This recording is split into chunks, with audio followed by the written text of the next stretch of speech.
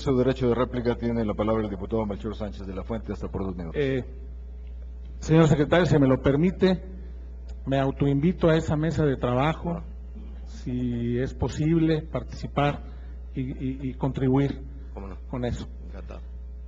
Sé que la verdad incomoda, pero hay que reconocerla.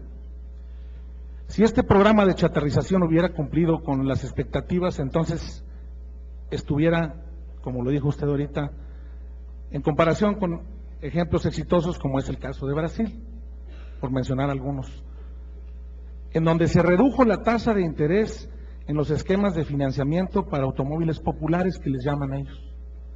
Se redujo considerablemente esa tasa.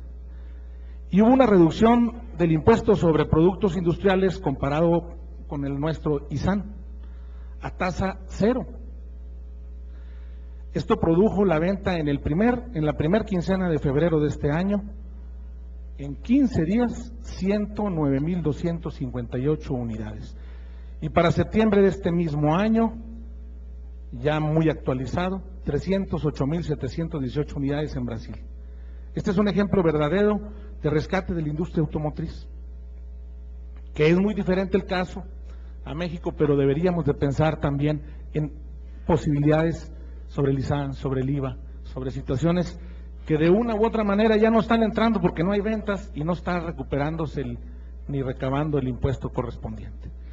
Además de otros ejemplos como el de la República Checa, Reino Unido, Ucrania, China, Corea del Sur, en donde el programa de renovación de la industria automotriz fue todo un éxito.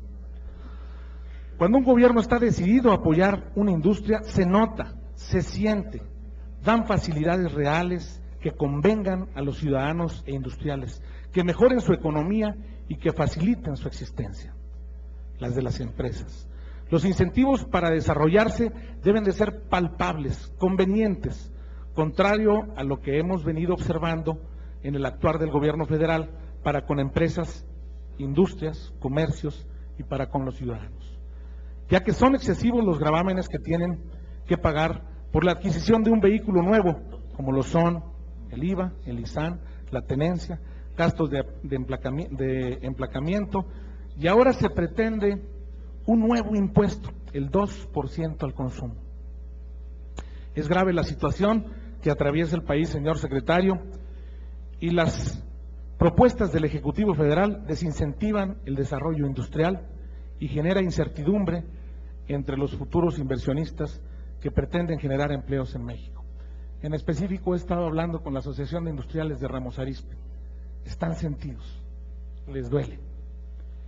Le invito a recapacitar y a tomar decisiones que realmente beneficien a los mexicanos, que nos ayuden a generar las reformas de fondo que nuestro país necesita.